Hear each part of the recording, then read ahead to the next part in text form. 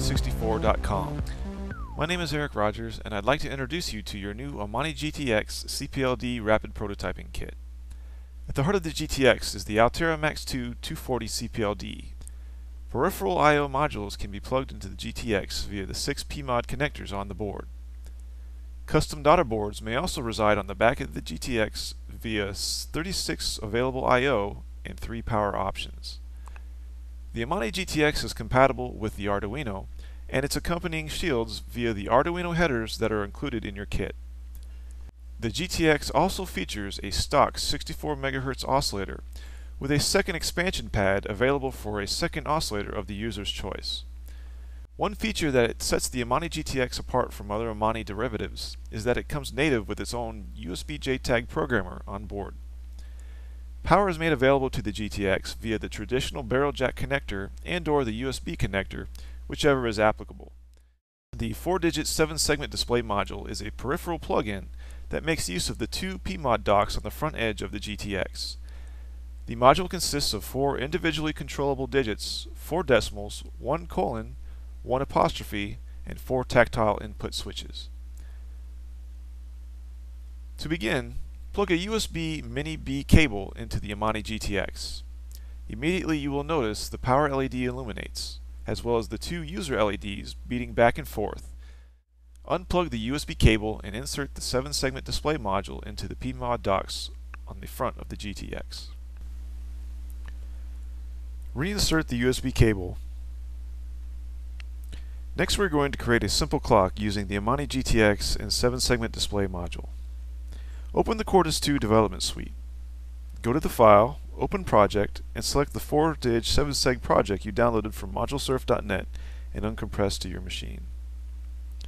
In the Project Navigator pane, double-click the 4-dig 7seg to open the top-level schematic. Here you will see symbol files, nets, and glue logic. By double-clicking each block symbol file, we can see the Verilog RTL that defines the functionality of each block.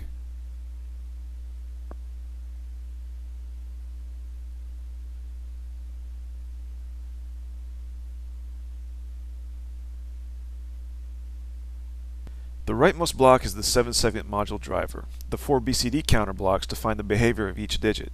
The clock distribution module divides the 64 MHz clock into four clocks, 32 MHz, 2 MHz, a 1 second clock, and a 1 minute clock. The 1 second clock is being used here to clock the seconds digit on the module. The 2 MHz clock is used for the counters internal to the switch debouncer modules. Three switches are used to set the time on the module. Switch 1 is the enable function, and switch 4 sets the digits 4 and 3, while switch 2 sets digits 1 and 2. The I.O. pads represent the I.O. pins on the CPLD. Click on Assignments, Pin Planner to bring up the pin assignment window. The pins have already been assigned for you.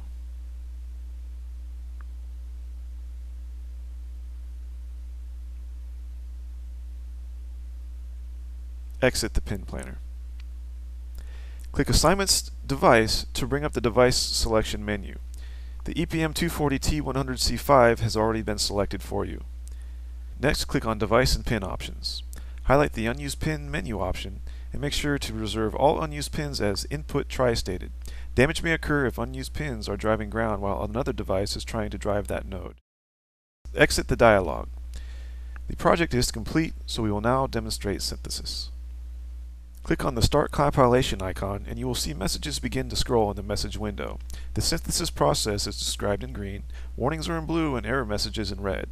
While errors will halt the synthesis process, warnings will not. It is advised that you inspect all warning messages and understand how they impact your project. Upon completion, bring up the JTAG programmer by clicking on the programmer icon. Under the hardware setup, ensure that USB Blaster is the currently selected hardware. This is the integrated onboard JTAG programmer that is unique to the Amani GTX.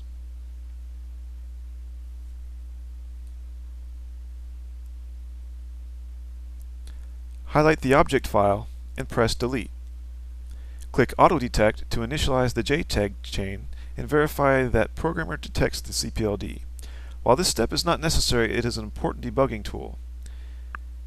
Delete the EPM240 line, press Add File, and select the 4dig7seg.pof object file.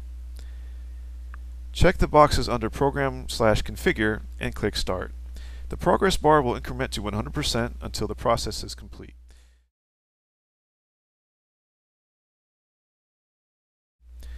Set the time on your clock by first holding down switch 1 on the 7 segment display and then pushing switches 2 and 4.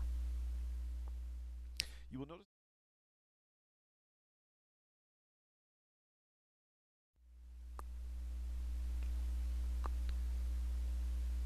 Let's go ahead and make this clock a minute counter by changing from the 1 second to the 1 minute clock. Close the programmer and go back to the project schematic.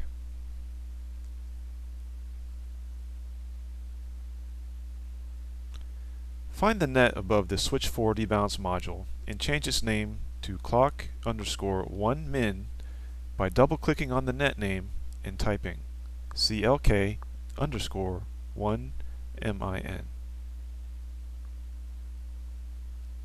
Press enter and recompile the project. Be sure to save first.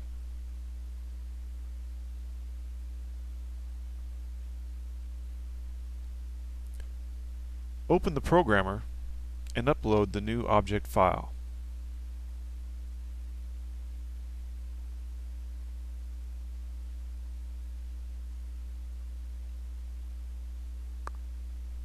Observe that the colon still blinks once per second, however the least significant digit does not change. Set the time, set the unit aside, and observe the clock over time. Compare its accuracy to your favorite timepiece.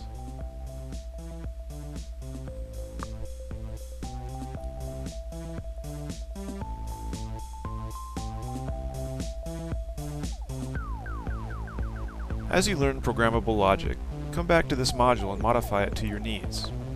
For example, you may need to stitch in logic to have LED 50 light up when a certain time is reached, or have the unit count backwards like a kitchen timer, lighting LED 50 when you reach zero, or install a commercially available sound module and have the Amani GTX sound off when your dinner is ready. Thank you for watching, and enjoy your Amani GTX kit. Be sure to check back for more instructional videos.